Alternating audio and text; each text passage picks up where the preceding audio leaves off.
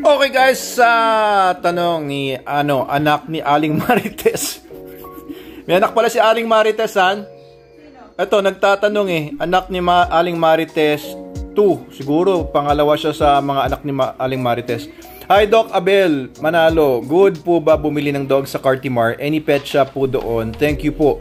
So, kung bibili po kayo ng aso, ang um, number one na uh, source ng pagbibilan nyo ng aso if you are uh, thinking of a particular breed, no? Isip mo, gusto mong bumili ng Rottweiler, gusto mong bumili ng Shih Tzu, gusto mong bumili ng Pomeranian. You go to the reputable breeders. Yun ang number one uh, priority nyo dapat. Kasi alam nyo, kapag bibili kayo sa mga pet shops, minsan mga latak na lang yun eh. Or yung hindi na mabenta ng mga breeders. Tapos ibebenta nila ng mura kasi ano, ang mga pet shops Uh, hindi ko naman nilalahat, no? I don't go to Cartimar, pero yung mga tao ko nag-supply doon ng mga SDN the best dog food in the multiverse natin, SDN 28 Super Dog Soap, available yan sa Cartimar.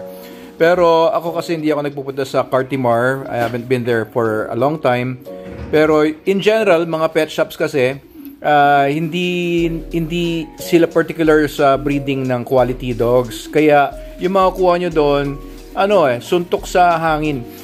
Pero kung marunong kang tumingin ng aso, if you know how to look at the dog's health, no, marunong kang uh, mag uh, mag-ocular ng uh, ano mahusay na aso sa kalusugan o hindi, medyo alam mo may sakit ito, may diferensya ito. Pwede ka tumingin sa mga pet shops.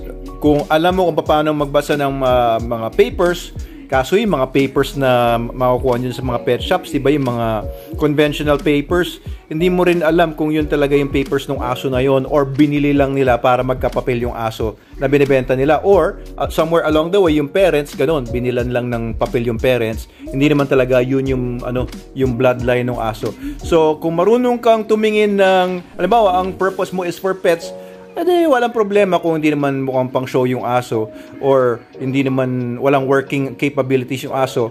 Uh, pwede na siguro sa pet shop basta healthy yung aso ano na. pero kasi pinakamaganda sa mga breeders alam breeders uh, hindi gagamit yung mga reputable breeders ah kagaya nung ano nung uh, kay Rigor di ba dahil nakita ko merong uh, hip dysplasia si Rigor, hindi ko nagagamitin yan because I consider myself a reputable breeder. Pero yung mga hindi reputable breeders, ay basta meron silang stud na may hip dysplasia pero pogi yung stud or kakaiba yung kulay, gagamitin pa rin nila sa breeding. Later on, kawawa yung bibili ng tuta kasi lalabas yung hip dysplasia. So, it's much, much better to invest good money doon sa uh, reputable breeders na kilala mo at